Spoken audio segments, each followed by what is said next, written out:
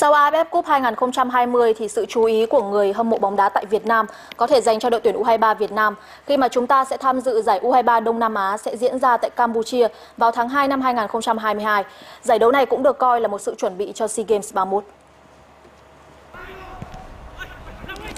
Theo kế hoạch của AFF, giải U23 Đông Nam Á dự kiến sẽ khởi tranh từ ngày 14 tháng 2 năm 2022 đến ngày 26 tháng 2 năm 2022. Các trận đấu diễn ra tại hai sân vận động Morodok và Prince tại Campuchia. Đây cũng là thời điểm đội tuyển Việt Nam chuẩn bị cho vòng loại World Cup, nên chưa chắc huấn luyện viên Park Hang-seo sẽ nắm đội. Giải đấu này sẽ là cơ hội cọ sát quan trọng đối với đội tuyển U23 Việt Nam để chuẩn bị tốt nhất cho SEA Games 31 trên sân nhà. Một cuộc thử nghiệm để đánh giá lại lực lượng. Đây là lần thứ hai liên tiếp Campuchia đăng cai tổ chức giải U22, U23 Đông Nam Á.